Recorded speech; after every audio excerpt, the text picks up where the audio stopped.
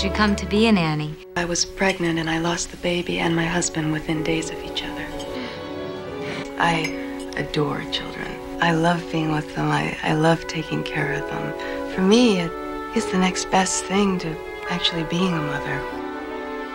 You never, ever let an attractive woman take a power position in your home. Who's my husband, Michael? Hi. I don't believe we've met. I'm Marlene Craven. This is Peyton. Peyton Solomon. Poison. Excuse me? The perfume. You're wearing Claire's perfume. Poison. Oh. Anyone can have an accident. This kid at school, he's been really mean to me. Tell me, which one is he? Where? I got a message for you, Rod. Leave Emma alone. Look at me. Hey! If you don't, I'm gonna rip your fucking head off. Are you a retard?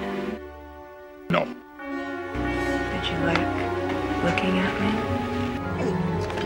You sound like you're turning on her. So many things have gone wrong since she's been here. But I firmly believe what goes around comes around. Don't fuck with me, retard.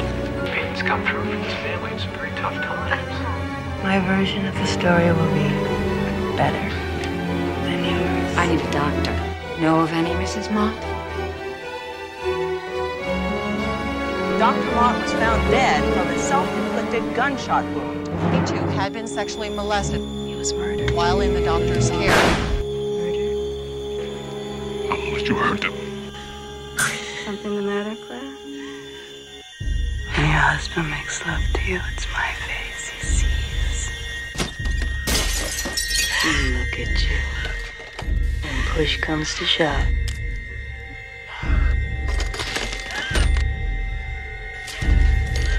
He can't even breathe.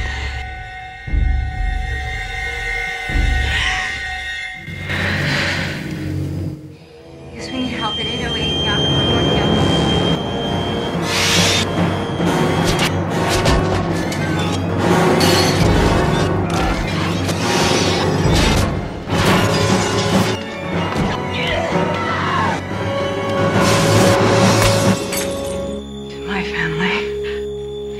hand that rocks the cradle is the hand that rules the world.